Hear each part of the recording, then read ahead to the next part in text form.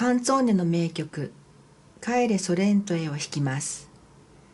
ピアノを弾く前にまず声を出して右手の譜読みをしてみましょう。強弱アクセントテンポ表示を考えながら息継ぎをしてみてください。